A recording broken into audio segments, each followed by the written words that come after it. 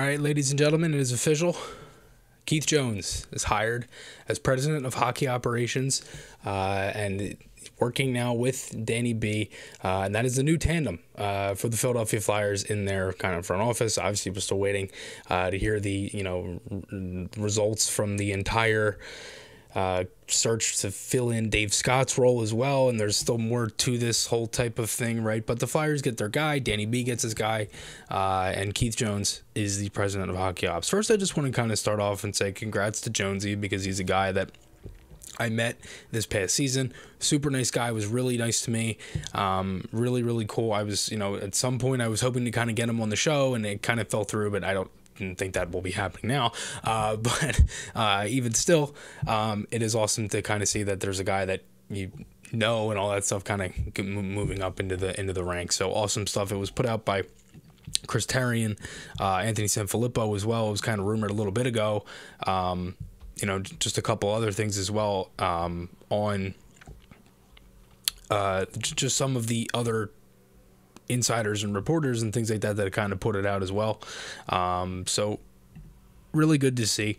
Uh, for Jonesy, my guess would be, and, and and my thing is this is like, give him a chance, give Danny B a chance, give Jonesy a chance. They both know the game, right? It's a new era of Flyers hockey. Okay, it's a new identity. It's a new thing, right? You have Torts. He's preached that you know, th- this is kind of been the thing that's been talked about. Um, this is going to be a new era of Flyers hockey, a new type of whole thing that kind of goes on with this.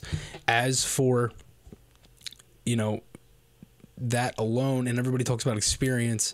My thing with experience is this: is like we went with Chuck Fletcher, we had Ron Hextall, we had Paul Holmgren. That's not saying that those guys don't know anything, that they don't know the sport, that they don't know anything like that. But my thing is this: if you're going with a new identity to where quite literally your the look of the Flyers will be different next year. As they're rumored to even get new jerseys.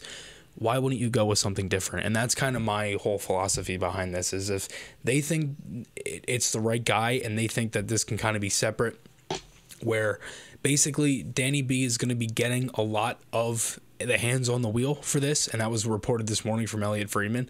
So hopefully that is stands true, and you kind of see more of that.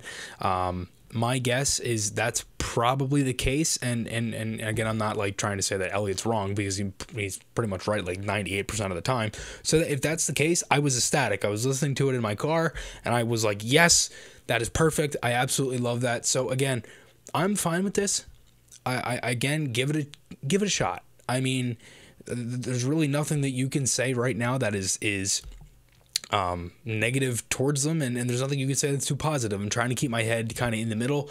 I think both of them know the game. I think they'll go off each other well. I think the players will, will definitely respond to this. Um, and again, it's that new type of wave of Flyers hockey here that, that that's you know kind of coming. So hopefully uh, this kind of continues. Uh, and uh, yeah, thanks uh, thanks everybody so much uh, for all the support as always. Uh, let me know your thoughts down below on the hire of jonesy for president of hockey operations.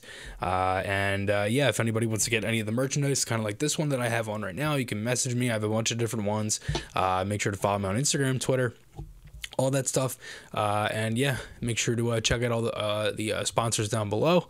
And yeah thanks everybody so much for all the support and i'll talk to you all again soon